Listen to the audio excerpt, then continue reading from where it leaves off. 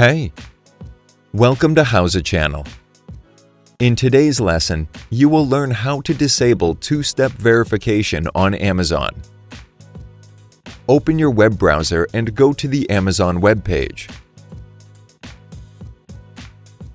Click on the account name at the top right corner and select your account from the list.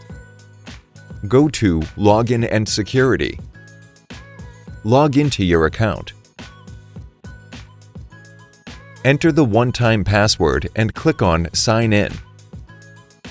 Look for Two-Step Verification Settings and click on Edit next to it. Click on Disable. Click on Disable in the pop-up window. That's it. Thanks for watching the video. Please like it and let us know if you use any of our tips and tricks.